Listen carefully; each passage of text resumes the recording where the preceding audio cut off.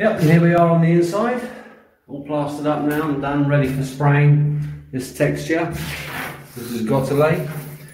The original wall was back here, and we moved it over to come in line with the rest of the room as it was originally. Um, but yeah, all the holes are filled in, all done, um, everywhere. So we're now going to start spraying.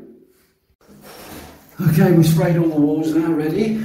Uh, also, all the places where we filled in the walls. You see?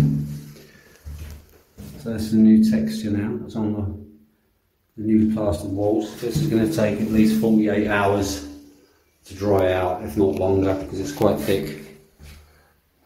But yeah, that's done.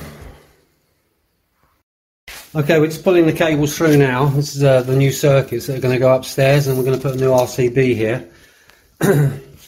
so we've been running up, so the new cables come from here to the box down by the door.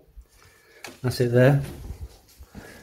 Then it runs under the floor, comes to this bottom box behind your sofa, up to this box here. This is your cable here that we just pulled through, the new one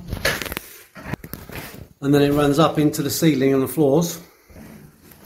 And then I've pulled it out here behind the door. So this is where we're terminating here, and from here we will go to wherever you want us to put the water heater, which is either down in that corner or again up here on this corner.